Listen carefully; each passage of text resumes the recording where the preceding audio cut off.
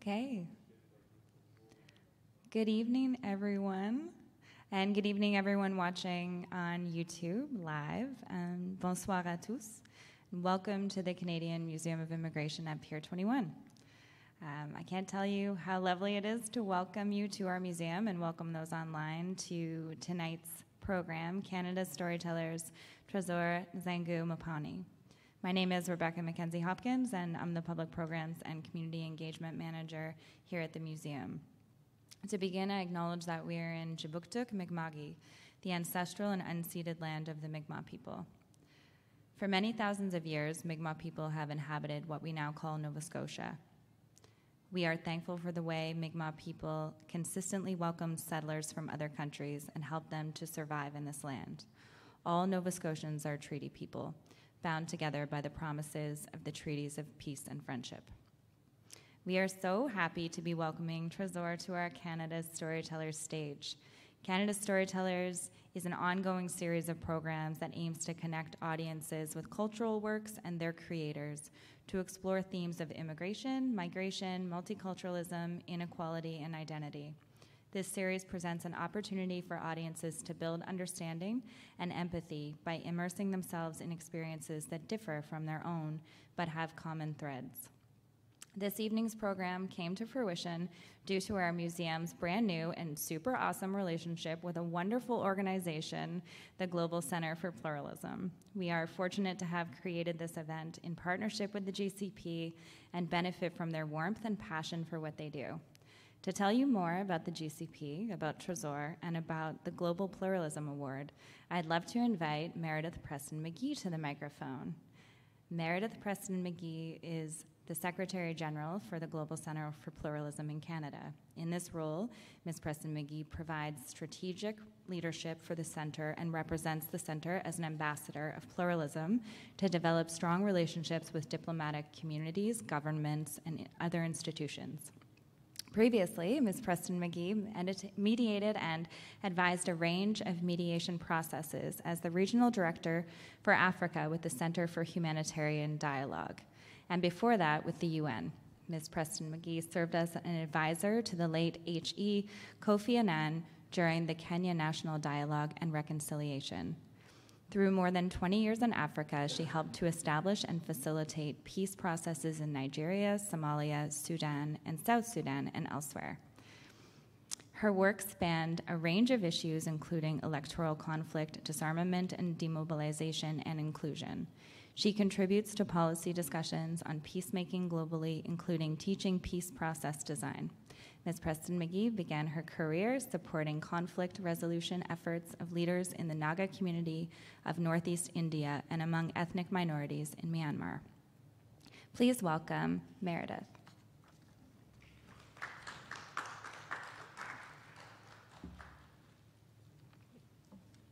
Thank you, Rebecca. Um, good evening, Halifax. Uh, bonjour à tous. Hello to all of our online friends. I'm particularly uh, thrilled to be uh, here in Halifax. Um, as uh, Rebecca had mentioned, I'm the Secretary General for the Global Center for Pluralism. We're based in Ottawa, where we gratefully reside on the unceded territory of the Algonquin Anishinaabe Nation. I'm really, really excited to be here um, on Mi'kmaq territory for this amazing event with our fabulous partners at the Museum of Immigration at Pier 21.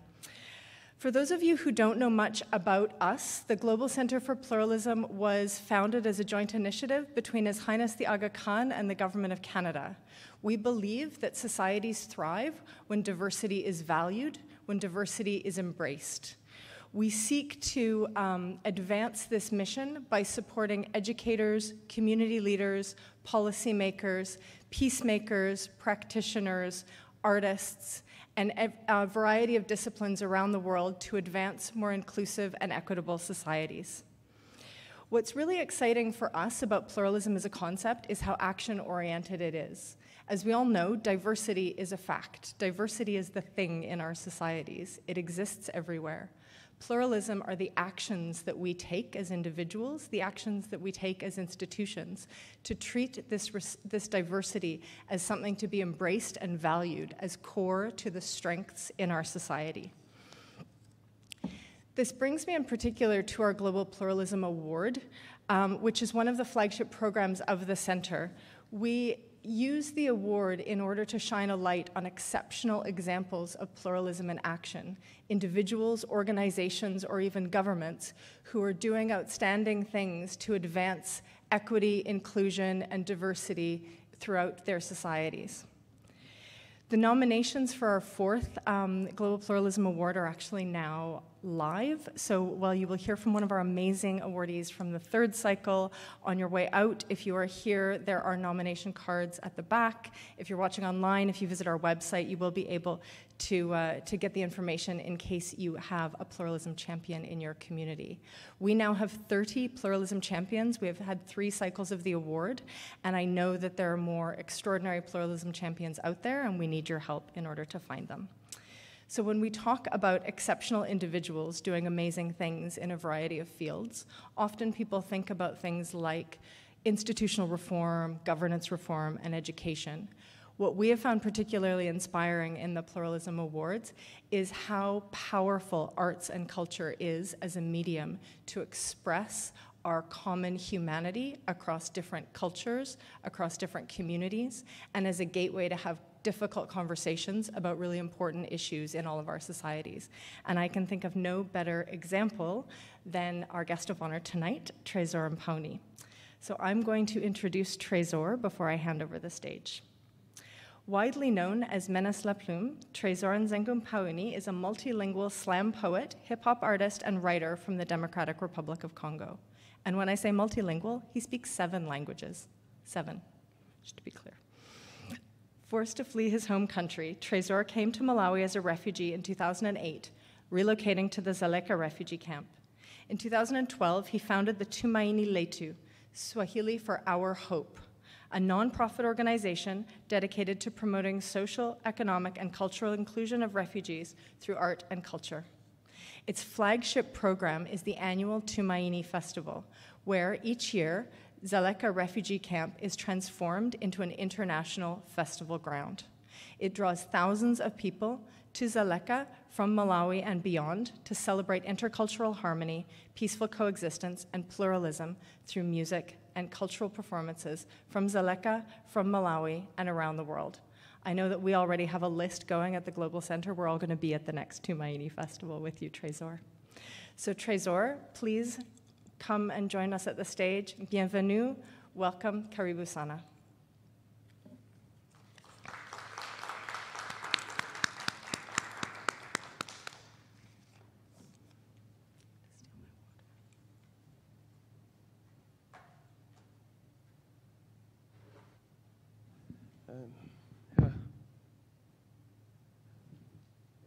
Much Meredith, and uh, oh, I should remove this. Uh, uh, I was saying thank you very much, Meredith, and thank you very much to the uh, Global Center for Pluralism for bringing me here. Uh, so my first time to Canada, and um, also my very first time to Halifax. I'm very excited about this, and uh, yeah, thank you very much, everyone, for, for being here. It's really a pleasure. I haven't been performing for the past three years uh, for some reasons, but I'm so excited that I can do it again tonight. And uh, yes, I'm glad that you wonderful people are here and we can share one or two things. Um, first of all, uh, I'll start by um, performing one poem. Um, I'll perform three poems for you to, uh, tonight, and uh, the first one is entitled Ndifermodzi. Uh, Ndifermodzi means we are one in Chichewa, which is the main language from Malawi, where I live. Um, I hope you enjoy.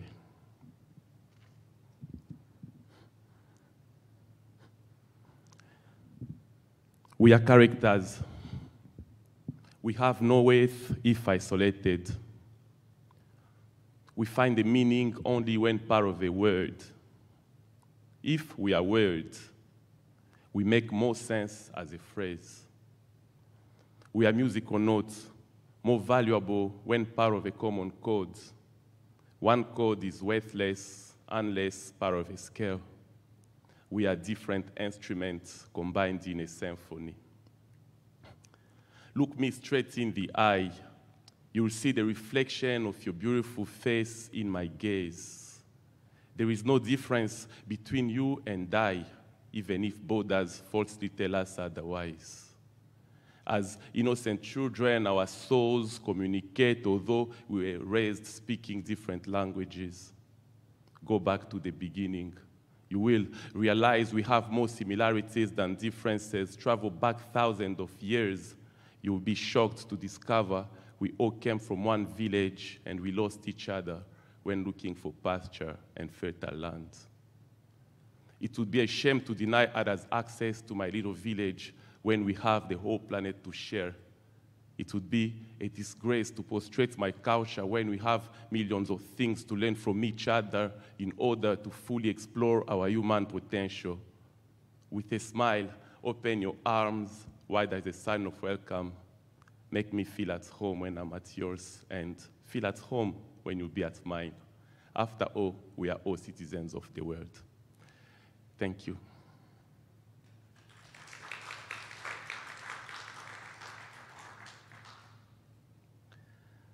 Um, my second poem is uh,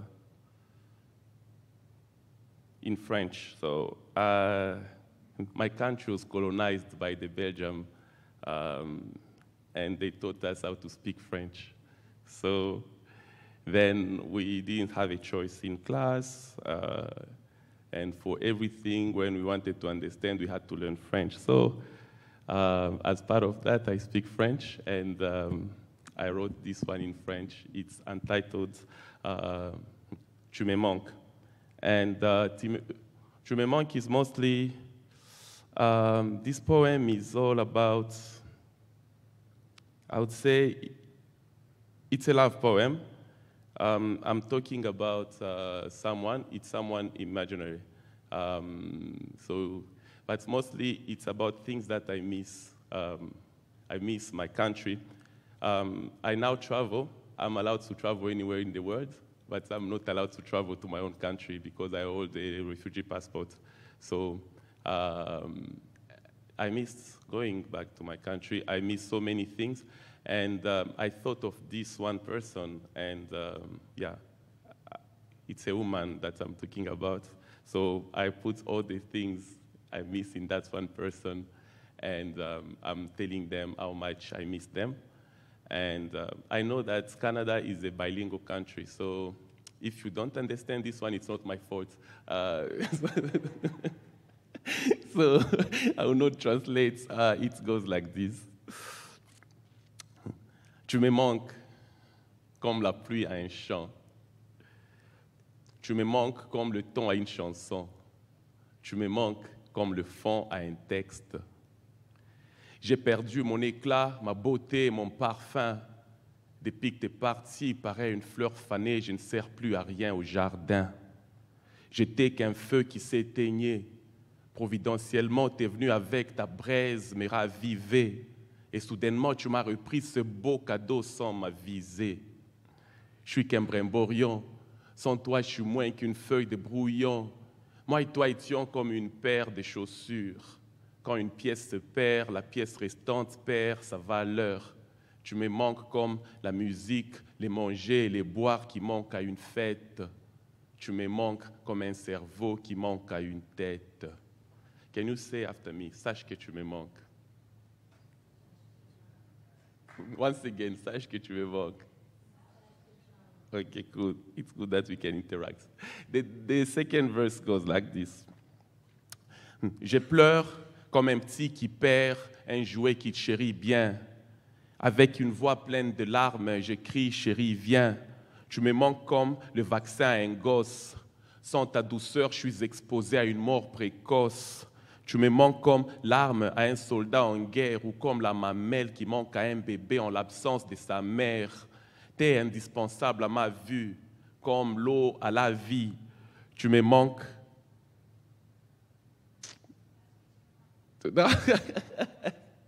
okay. I will, I will start again. Um, Yeah. So, je pleure comme un psy qui perd un jouet qu'il chérit bien. Avec une voix pleine de larmes, je crie Chérie, viens. Tu me manques comme le vaccin à un gosse. Sans ta douceur, je suis exposé à une mort précoce. Tu me manques comme la mamelle qui manque à un bébé en l'absence de sa mère. Tu es indispensable à ma vue, comme l'eau à la vie. Tu me manques comme l'écho à la cloche. Ton absence m'a avili comme un trou à la poche. Vivre sans toi, je suis dans l'agonie. Ma vie sans toi est vie sans harmonie. Tu me manques comme les béquilles à un boiteux. Tu me manques comme la lampe qui manque en pleine obscurité. Sache que tu me manques. And the last one, uh, I love this verse a lot because it has a lot of. Uh, this is um, a style that we call in French calembour. So um, that, that's the reason why I love this one. Um, and uh, it goes like this L'amour est le pont qui relie les deux rives de nos cœurs, nourri par les mots qui dérivent de nos cœurs. Mes décisions s'écroulent par un seul coup de tes yeux. Les trompettes de ta voix écroulent les murailles de mon cœur. Comme un myope qui persévère, je tergiverse, mais je persévère. Pour remettre ma pendule à l'heure, je suis contraint à persévérer. Vents et marées pour t'avoir à nouveau sur le train de mon piètre univers. Sache que tu me manques. Thank you very much.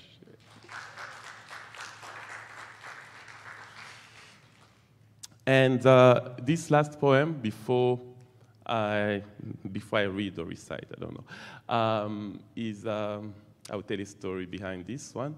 Um, once I had a fight with a police officer in Malawi. Um, the reason why we had a fight is because um, he was so disrespectful to me uh, because I'm a refugee. And uh, anyways, I was uh, powerless because he's a police officer, he holds the power, and all I could do is just to be unhappy in my heart.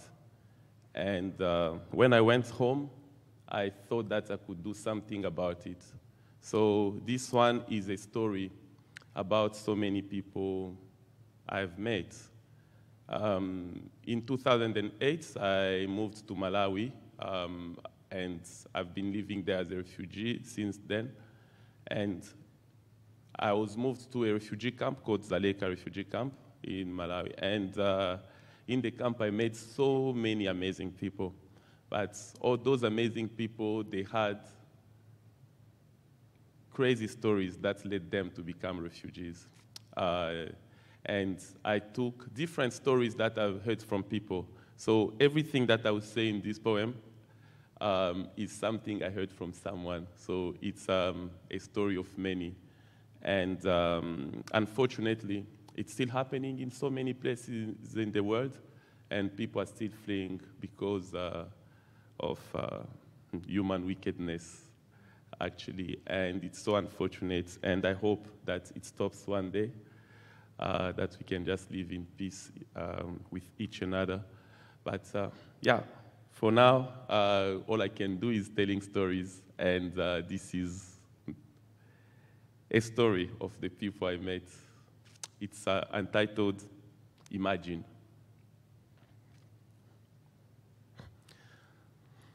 Just imagine yourself in such a situation. Imagine yourself between the hammer and the anvil, swimming in mud and dust fit to the doors of the abyss. Imagine one day a bomb falls on your palace and creates a bloodbath all around. Imagine that one day your playground turns into a cemetery where the local bar becomes a site of desolation and tears. Imagine the soft music that caressed your soul disappears, and instead you hear the noise of boots and the crackle of Kalashnikovs. Will you accept to stay and die, or choose to flee to stay alive? Imagine one morning, armed executioners arrive at your door, hitting you soundly without sparing your father, your mother, and your whole family. Imagine that under threat of death, you are forced to have sex with your own mother. That's with your eyes you see an ugly, duckling deflower, your sister of nine years old caressing her with a bayonet. Imagine one day that you see people without a heart assaulting a woman who is nine months pregnant. Will you accept to stay there?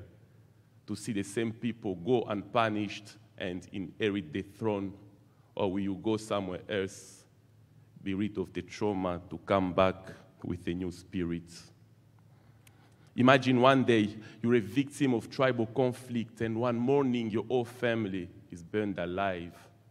Imagine that due to religious belief or because of political affiliations, people are guillotined and beheaded. Will you accept to wait your turn or run to save your life?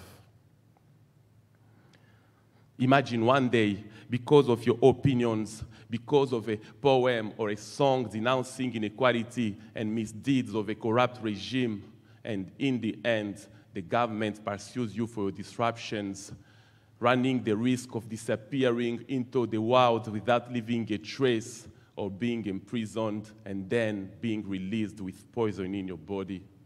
Will you stubbornly accept this and wait for death? Or will you flee until the regime changes to return home to a country worthy your pride? Imagine a sudden situation arises and steals all your wealth to make you a little beggar. If it happens to others, it can happen to you too. Those who mourn today laughed like you yesterday. Those who beg today were rich like you yesterday. Those who die of hunger today threw food in the trash like you yesterday. Those who sleep outside today are a comfortable home like you yesterday. But from the summits where they were, the lightning of the human wickedness reached them and buried them in the margins of society. Just imagine yourself in such a situation.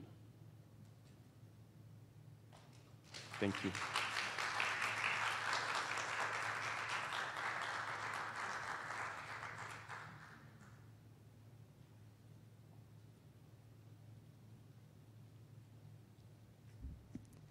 Thank you very much. That was amazing. And just maybe another round of applause for this amazing film.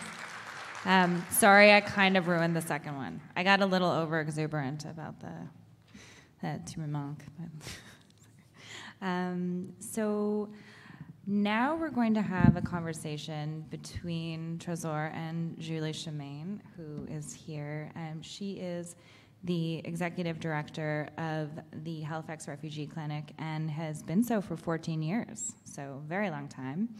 Um, so Julie received legal training in France and the UK and personally worked um, in uh, asylum law, sorry, overseas, uh, including in Paris with Amnesty International. And Julie has been an advocate for migrant and refugee rights for the past 20 years. And she works for the Halifax Refugee Clinic, which is a wonderful grassroots nonprofit providing pro bono legal and settlement services and supports for refugees and refugee claimants across the Atlantic region. So, thank you so much for being here, and I will hand it over to the two of you to have a discussion that I'm sure will fascinate everyone. Thank you. Thank you, Rebecca, and thank you, everyone, and thank you, uh, Trésor, especially for being here. Those were really powerful, beautiful pieces. Um, and uh, we're honored that you were able to come to Halifax, to, uh, to Pier 21, to the museum. Um, and I'm very excited to have this uh, discussion with you. Um, I wanted to ask you a little bit about your musical journey. You were a musician in the Congo, from what I understand, and then obviously your your incredible work on the on the on the Tumaini Festival in Malawi. Um, can you tell me a little bit about that and and how your refugee experience impacted your music and your art? Yeah, uh, thank you very much, for the question. Um, this is. Uh, yeah, it's been a journey. Um, I started doing music, I was still very young, and um, I've been having this passion for, for music. And um, I don't know if uh, maybe, I think it's universal. A lot of parents, they, want, they don't want their children to do music uh, professionally. uh, and uh, they want them to do proper jobs um, in court.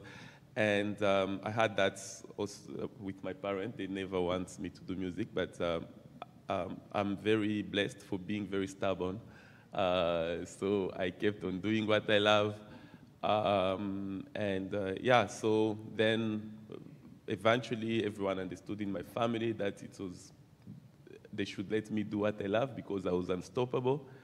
And um, when doing the music, I started very young with uh, my friends, first in a children's band, um, and then I moved on to start doing. Uh, at some point, it was cool to be a rapper than being a singer, so I became a rapper um, uh, at the age of um, 15.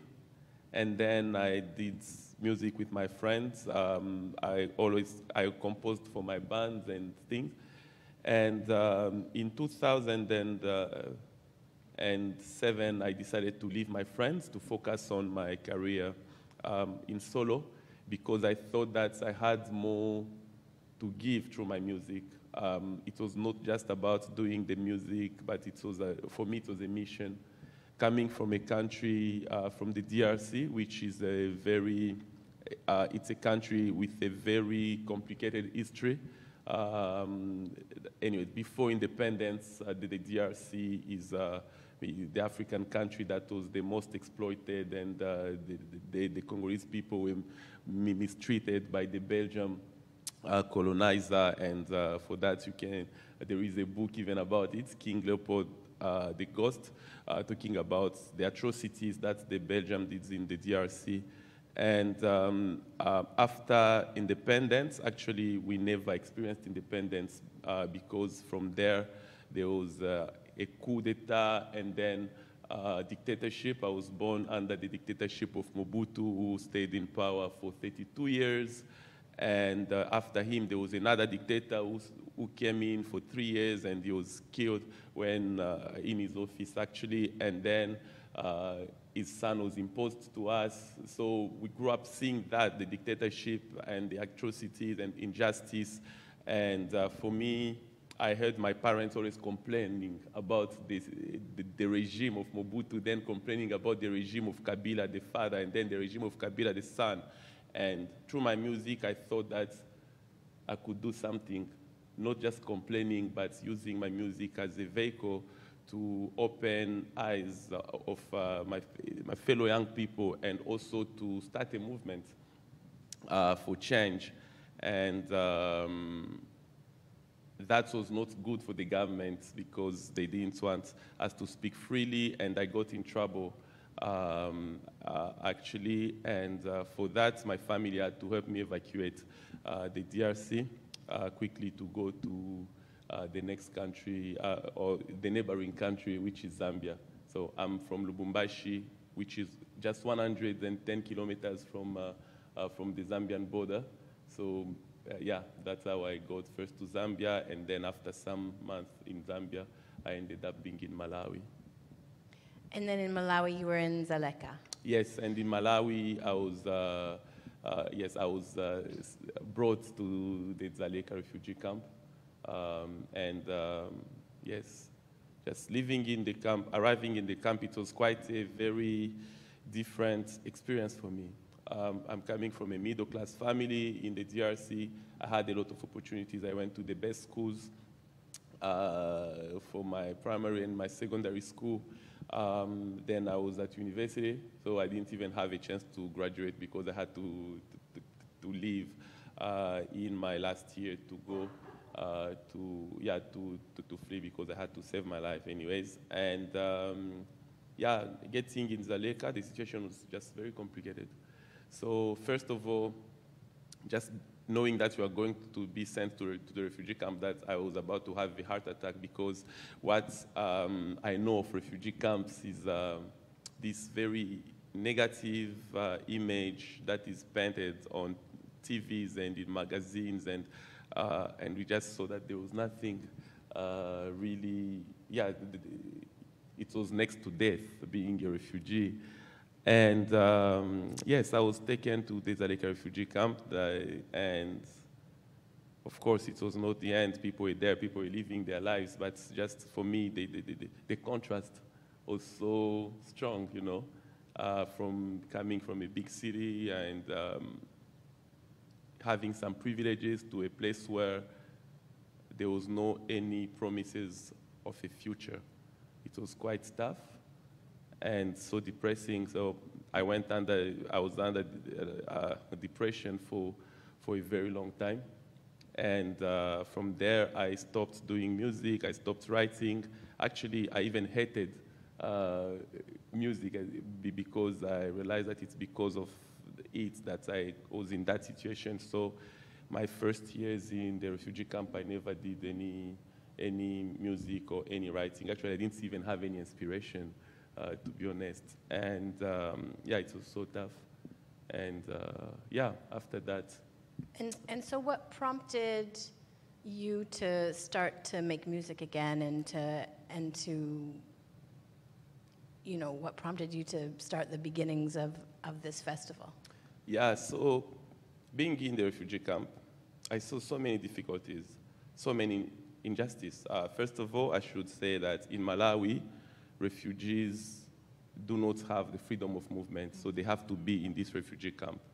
Uh, and the refugee camp was created in 1994 after the genocide in Rwanda, Burundi, and uh, which also started the, the war in the DRC, which is still ongoing up to, to, to now. Um, and uh, during that time, the refugee camp was opened and people came, and uh, the Dzaleka was established as a refugee camp. But since then, some people were born there.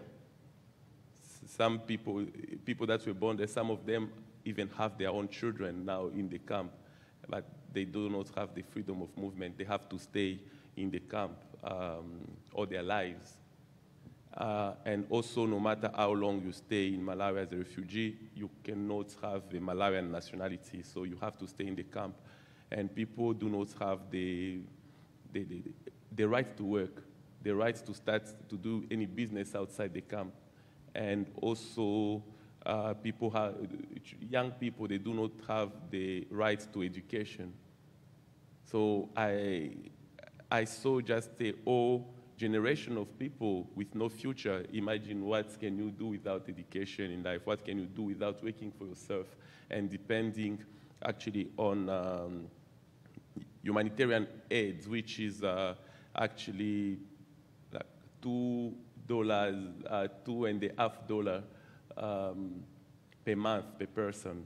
So it's so little. People need to work for themselves uh, to make a living. Um, people need better healthcare and all of that. So the camp didn't have that because of the restrictions that Malawi has imposed on refugees, and that's so unjust and um, and so uh, unhuman.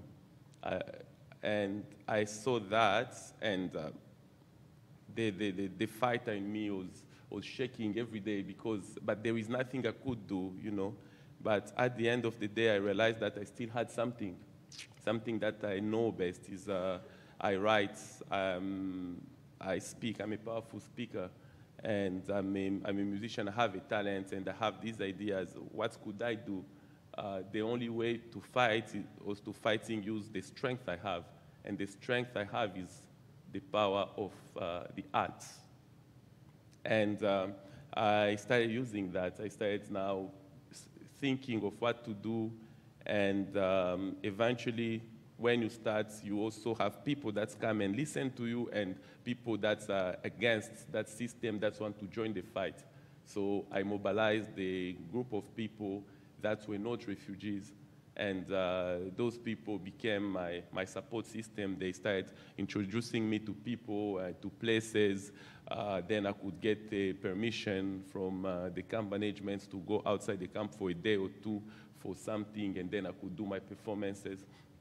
And uh, in um, just a year, I was very lucky, Malawi being an English-speaking country, um, I was very lucky to be the only French-speaking um, artist in the country. So it made me, like once I started performing, it made me be noticed very quickly.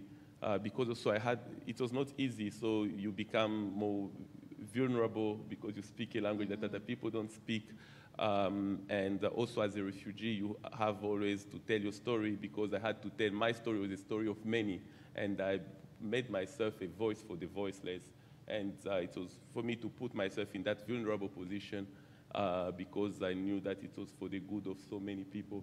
And I started advocating for the camp and for refugees in Malawi and telling the stories of what's the story uh, what situation refugees are living in Malawi. And it attracted a lot of attention, um, like of, uh, of uh, big channels like uh, Al Jazeera. They came in the camp, they made a documentary about me. Uh, it attracted attention of uh, big mainstream media and also the local media in Malawi. And um, yeah, it attracted attention of the diplomatic community, um, attention of the different stakeholders in Malawi, and that's made it very powerful. At some point, I became kind of uh, difficult to stop because I had all this exposure around me. And uh, that's when, at the end, I was like, after a year, I was like, how can I use this platform, this uh, exposure, because that was power already. Mm-hmm. And I thought of how I could use it. And to use it was not just going around telling my own story, but I thought also of bringing people to the camp so that they could hear more stories, so that they could see themselves, the situation um, firsthand. And that's when the idea of uh, the Tumaini Festival came. So in 2014, we started the first Tumaini Festival. Um, it was like a dream. I, did, I told a story uh, to my people in the camp. They thought that I was crazy because it was not feasible. And so looking at the limitations refugees have, and um, people didn't believe that it could happen, but um, it eventually happened, and uh, it was a success already from the first year. And uh, yeah, today it's uh, the biggest festival in Malawi, bringing so many people from around the world in a refugee camp, uh, people staying inside the refugee camp with families.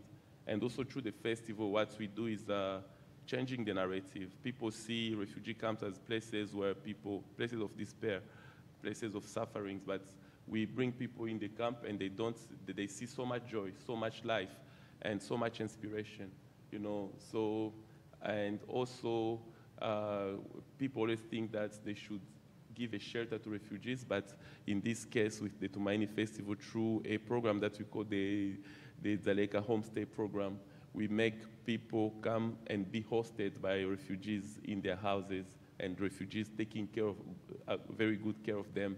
And for, with that, we have changed so much in how people see refugees and how people consider refugees, and also in the relationship between the refugees and the Malawians, and even the people, the tourists that are traveling to Malawi to come for the festival, they experience a different life of being hosted, being taken care of by refugees.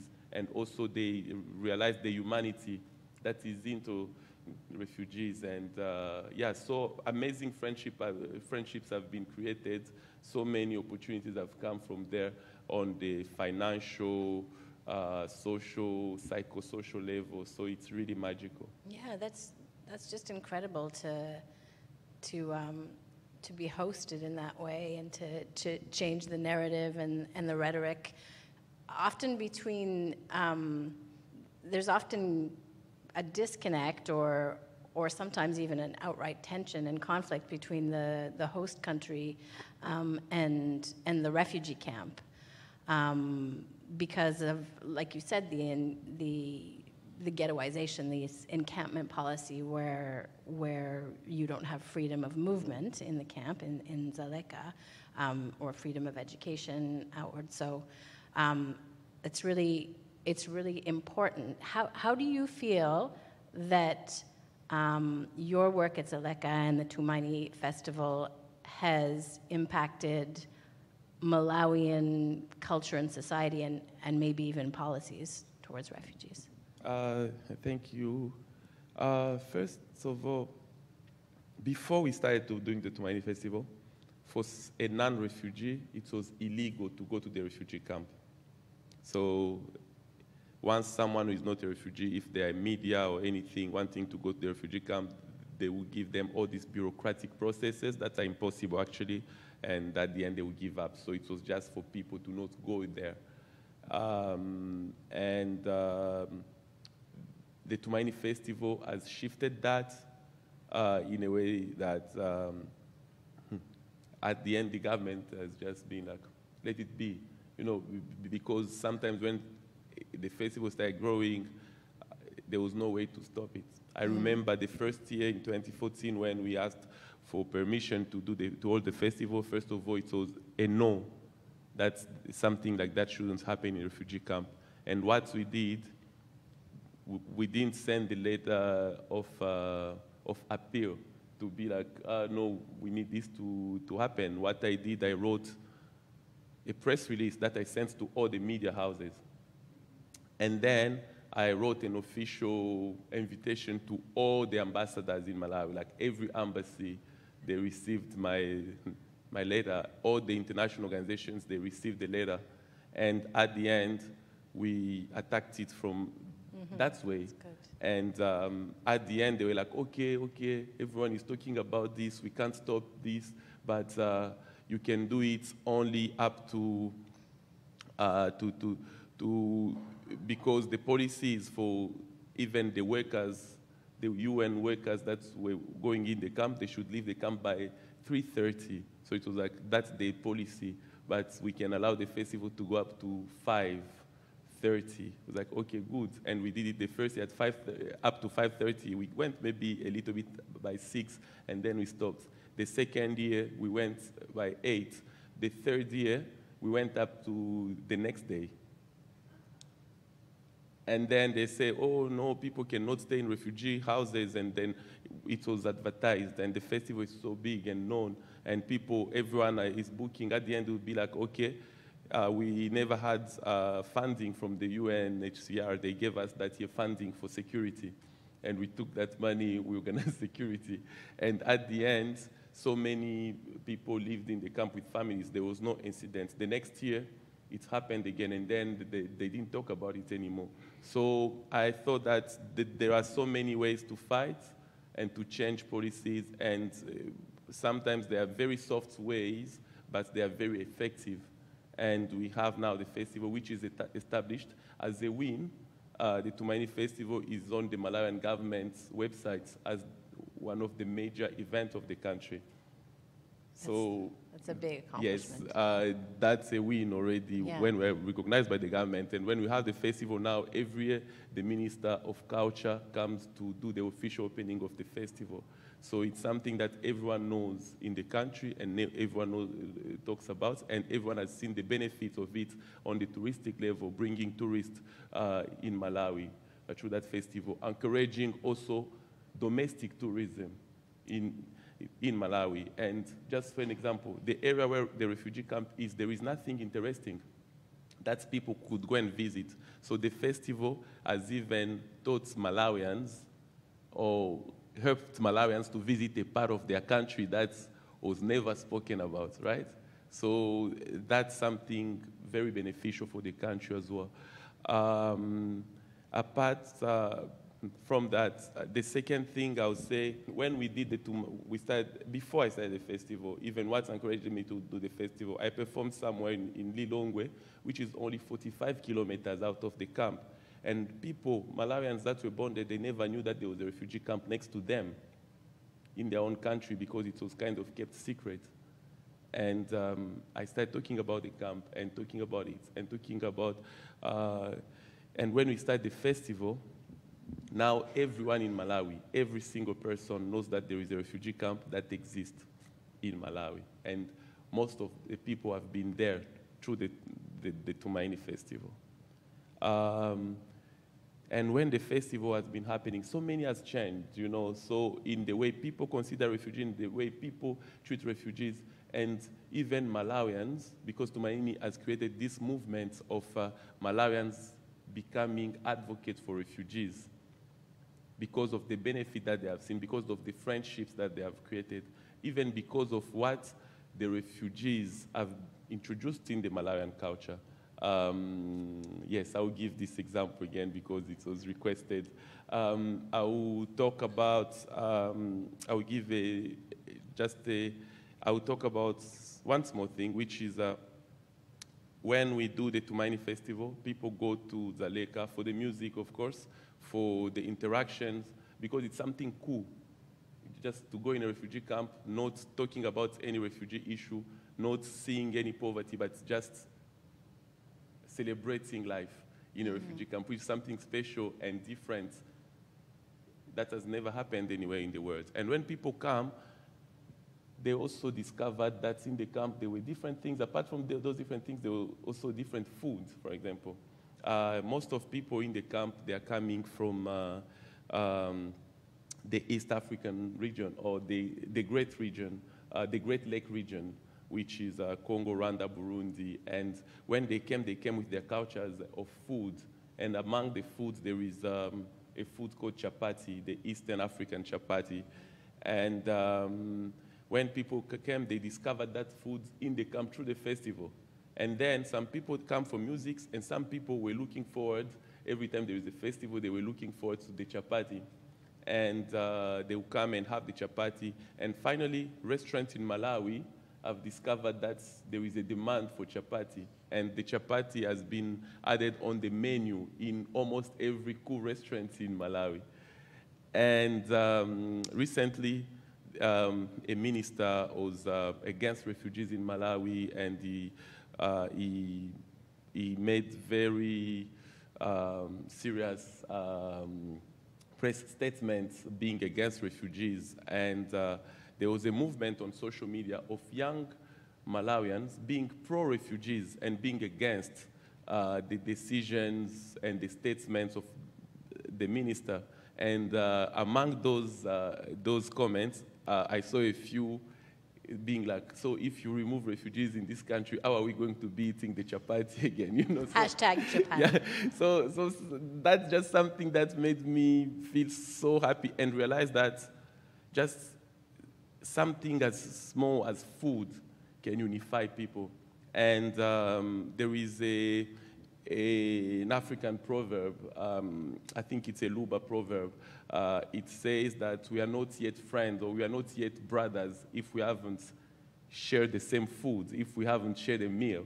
And uh, so it's also just a way to see how food can unify people yeah. and how it can make people really uh, understand and love each other because uh, all of us want to eat. Our body needs food, and uh, food is something that makes all of us happy. And I'll just bringing a different food to other people can just make you be appreciated even more.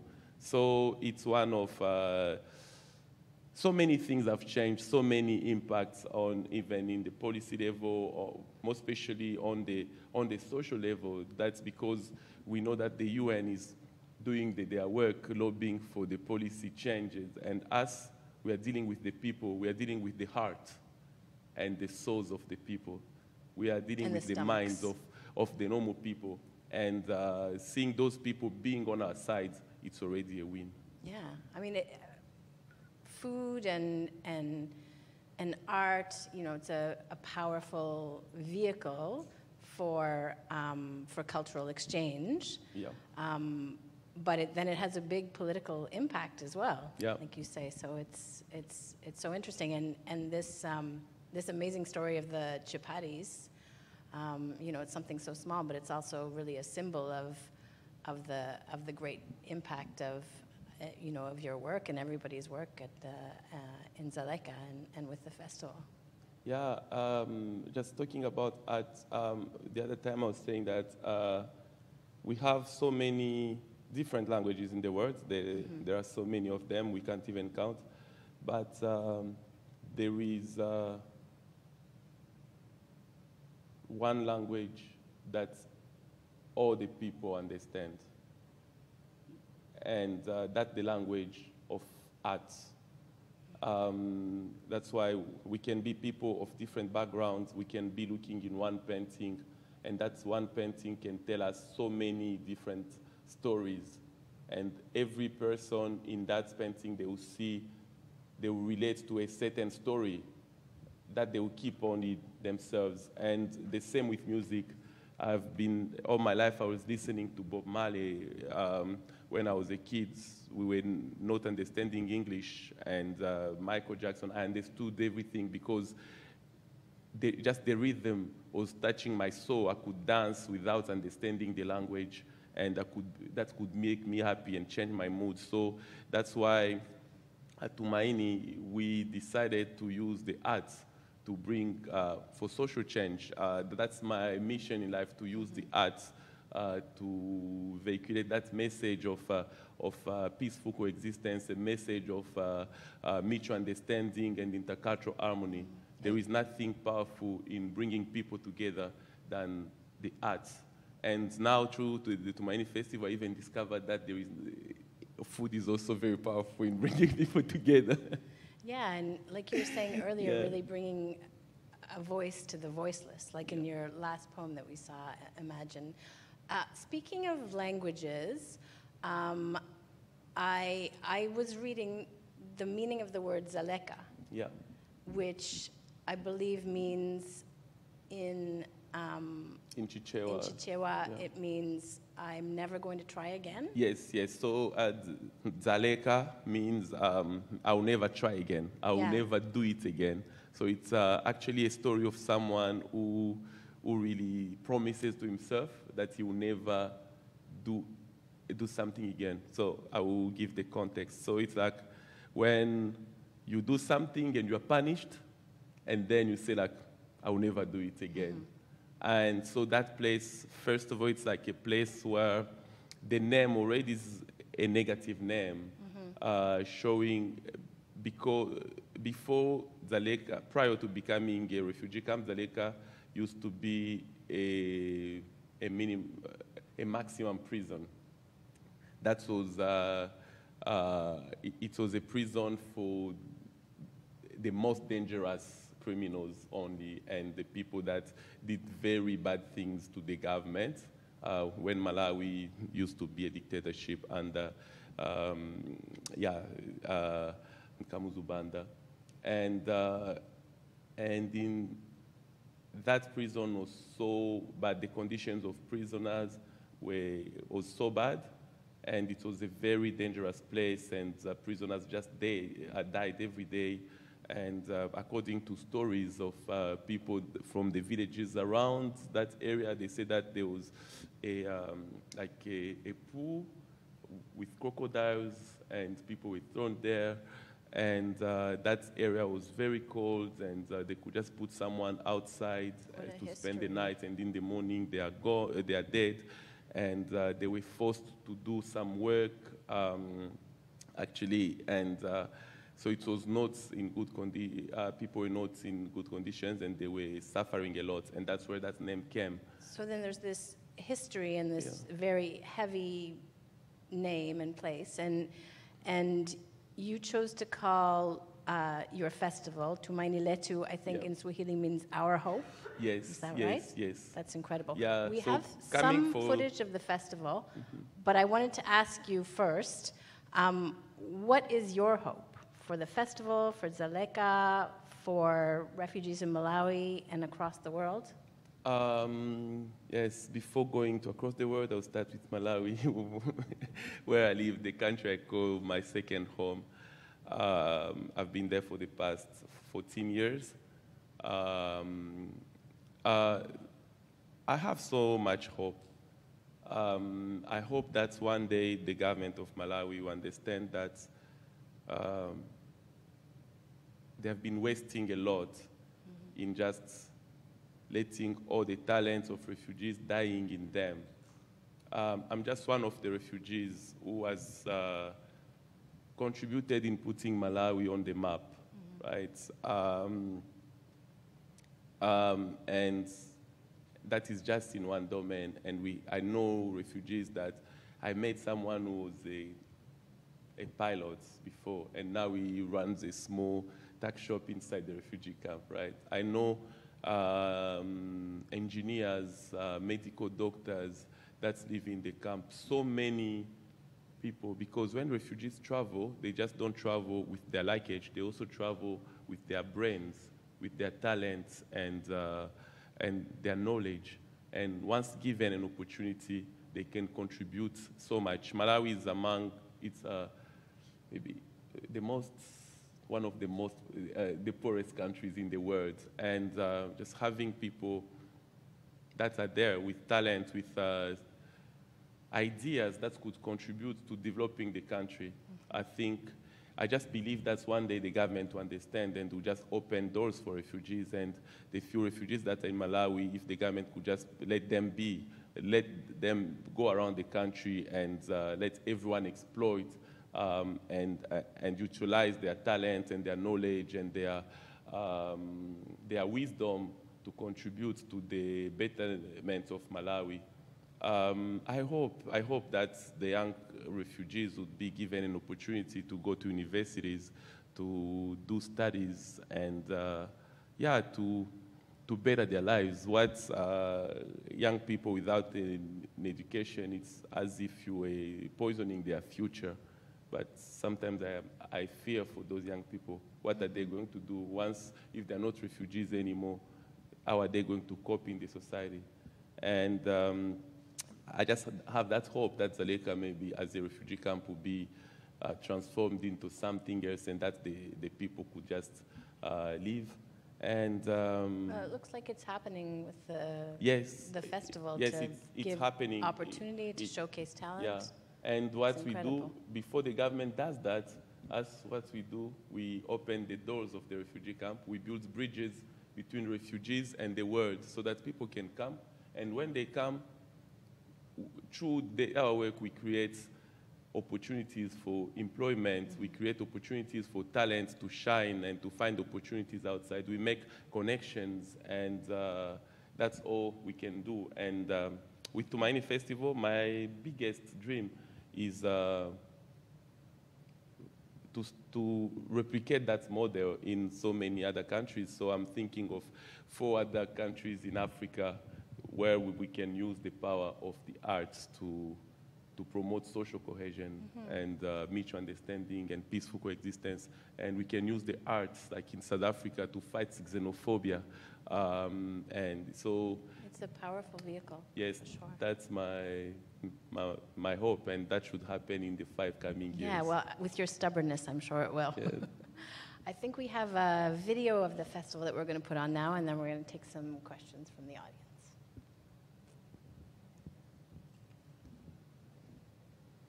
I think when, when you mention camp, uh, refugee camp, uh, people really expect that it's a place where people are just being kept and no, no, there's no real life and it's, it's just people away from home.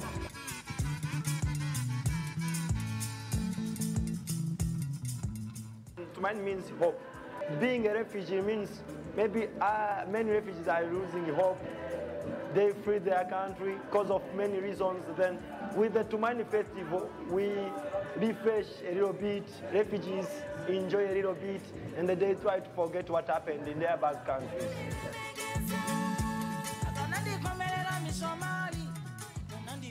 It is bringing people together from all walks of life, particularly, let's say, from the African circle. People are here and they're enjoying themselves.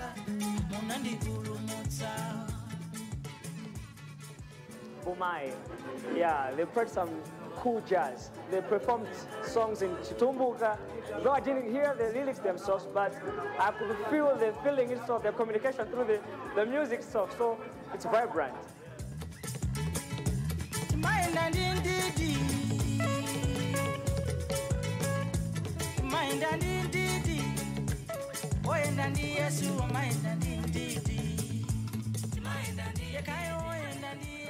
The refugees are just people like all everyone. We, I I think I didn't have much of an awareness about what happens in Dzaleka and about Dzaleka itself. So being here and seeing like the cross culture and sharing of different bands, different music, it's, it's very impressive.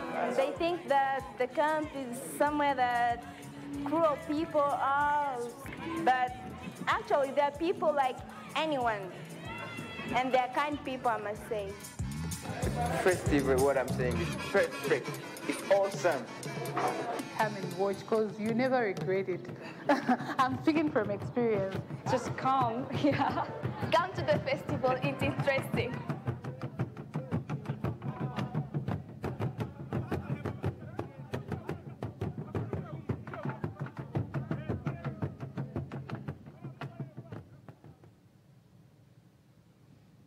Incredible. I think we'll- all be going to the 2022 one now. We'll find the lineup online. Were there any questions?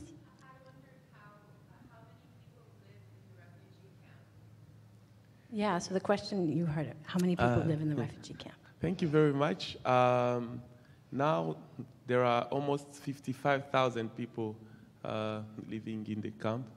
Yeah. So like this video was made in 2016. Um, as you could say, uh, in 2016 there were 25,000 people, and now in 2022 we have uh, 50, almost 55. So it's almost the yes, almost the double uh, the uh, the number that it was uh, back then. And if I should explain, that is due to one reason. There are conflicts still going on in, um, in the eastern part of the DRC and uh, also in Burundi.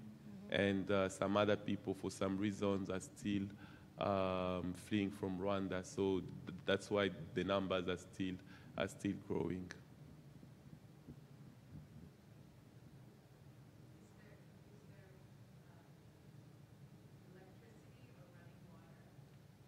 Uh, there is no running water. Uh, there are boreholes where people have to pump to get water. Um, and uh, so I will just talk a little bit about this. So when the camp, it used to be a prison uh, to just have a few people. And um, when the prison was closed due to uh, some uh, pressure from uh, the international community, because it was inhuman to have that prison treating people in that way, uh, the Malawian government had to close it. And when refugees came to Malawi, uh, or refugees from the Great Lake region came to Malawi, uh, the government gave that space to be used as a refugee camp. So actually, it's a place where they shouldn't be comfortable. Uh, maybe so they ran to go to another place. But unfortunately, or fortunately, people were very strong and very resilient. They kept on living there. They bettered the, the place because people transform places. So they transformed that place, and uh, now it's like a village, a big village. Uh, but the camp was um, meant to only have to have maximum 10,000 people um, and uh, because of the resources around. And uh, but unfortunately, uh, people came and uh, they started, you know, um, multiplying also because uh, babies are born in the camp. Um, uh, children are growing and then they are becoming parents as well. And also because of the conflicts, more people are still coming uh, to the camp. And uh, yeah, so now the camp is very congested because it's meant to have only 10,000 people, but now with 55,000 people, they have to share those few resources. So yeah, and um, slowly the, uh, the, the electricity is coming in the camp for people that can afford to pay for it. Water is for free because you go and pump, but anyone can have now electricity because you have poles of electricity going around. But uh, now it's now depending on who can afford. But not everyone can afford, but because what refugees receive as food per month, um, it's uh, in value, it's uh, two dollars and a half per person uh, for a whole month. And uh, so imagine that people should use that money to, to feed themselves and to pay electricity and all of that. So it's only a few because uh, that can afford, but it's not everyone. Are there any more questions from the, the live audience? Or from the live stream audience?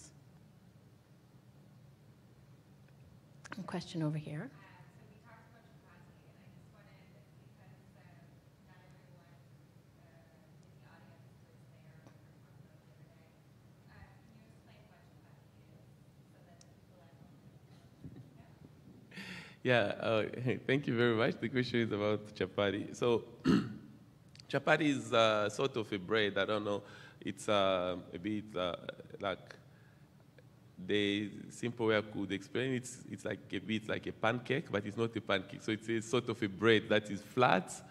Uh, yes, um, and uh, actually it's also a borrowed culture from India, if I'm not mistaken. So it came from India.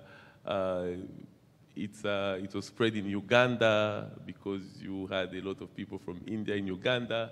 And then it went to Kenya and then Tanzania and then the DRC. So, um, and it's a different variety of chapati than the ones from India because it's, uh, people started adding their own style. Uh, that's why the chapati that we eat um, in Dzaleka, it's, it's, it's called East, um, East African chapati, so because it's a different variety of chapati. And we also soon do, it'll be a Malawian Yes. East African chapati too. Yes, and we do it. exchange. We do it with eggs, which we call chapati mayai. In Uganda, they call it a Rolex. So, it, so it's getting also to, to becoming, uh, to finding different ways of cooking it, and people experimenting. Yeah. It really showcases how, you know, this, this narrative that we have about refugee camps are that they are, um, you know, desolate places that are just temporary. Everyone thinks of literal tents. Um, but Dzaleka, that's 30 years, right?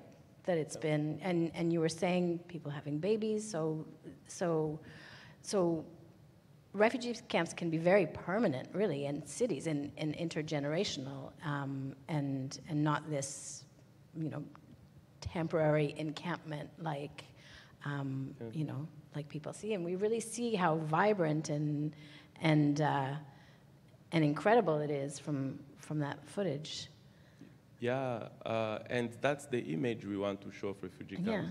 Uh, because most of the time people see these temporary tents and people crying and uh, people being very, um, losing their weight and almost uh, dying. And that's a very bad image that actually shows refugees always on this very weak position. And uh, with uh, what I, we do, or like it's to, huma- uh, to, to humanize refugees because that's what they are, human beings with talent, with potential, with beauty, um, with uh, knowledge, um, and, and all, every greatness a human being can have. And that's the image we want to show of refugees, uh, the true image of humanity. And uh, most of the time, when photos are put in magazine and in the news, it's not of people smiling, but refugees smile. And for me, there is a place where I learned about strength, human strength, and resilience is at Dzaleka. So being in that refugee camp, I actually discovered even some strength that I didn't know that I had before. Uh, now I'm 10 times stronger than I used to be before I became a refugee because that strength was, I was given the opportunity of exploring it inside the camp. Just by being challenged by these people, by people going through so much, yet still keeping a smile, yet still being positive every day. People that transformed the place with no money, like uh, when the camp started, it, it was a permanent place. It, it started with people living in tents. But after years, people started making bricks themselves to build their, their houses and put like big plastic sheet on top and put grass on top, and they could live with that. And in the camp, I learned how to make bricks. I co-builded my house, my first house in the camp, with the help of the other people in the community. So actually, I didn't know that I could build a house one day. So um, I discovered that, and then everyone tried. And at the end, people also tried to beautify their houses because they, they thought that they were there for a year or two, but they are there for forever. Then they have to make their lives better where they are because that's their country. Now it's just for some children that were born in Dzaleka, now they are adults, that the, that the country they know. So how can they make it beautiful? And for me, that's what has inspired me more. It's the power of the people, the strength of the people.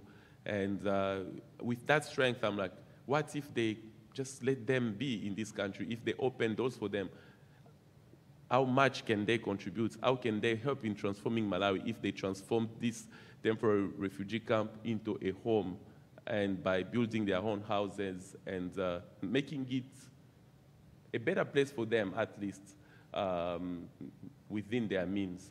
So me, that strength is um, something magical. It inspires me every day when I look at that. And that's what I want to the, the world to know, and that's what I want people to see. Mm-hmm. Sometimes people are afraid for you. You're afraid of what you don't know. Uh, everyone is afraid of an unknown. And what I want, uh, my mission is to demystify uh, the refugee image so that people get to know the real refugees because they're afraid of us because they don't know us. Me, anyways, I'm the only, maybe the only person who brags about themselves being amazing uh, because it's true, I am. And I'm, I'm a refugee yes, and I still live in a refugee camp mm-hmm. um, in Malawi. And um, yeah, I, I've traveled everywhere in the world being an ambassador for my fellow refugees in Malawi, and I'm sure that I still have so many countries to visit and yeah. talk about this. You have a lot of work left to do, but it's just really yeah. incredible what you've done. Um, yeah, it's been wonderful to speak with you and to and to hear your art tonight, Trésor. Um, I think that's probably it for our program, unless there are any other questions. And I want to thank the uh, Canadian Museum of Immigration at Pier 21. And yeah, thank you very much. Um, Trésor, we look forward to your expansion of the Tumaini Festival into other countries. Um, and also, I think you've given everyone here a lot to think about when it comes to refugee camps and that the end goal doesn't need to be the closure of the camp. It can be the integration of the people that live there into the community. So I think that that's something that maybe many people, including myself, have never really thought about. So thank you. And thank you to Julie, and thank you to Meredith, and uh, for everyone uh, who came tonight. Merci beaucoup. Thank you so much. Um, and please uh, check our website for upcoming Canada Storytellers events. We have some in June and one more in. Um, in May. So, thank you very much. And thanks to everyone watching at home. Have a good night. See you all in Malawi in November. Thank you.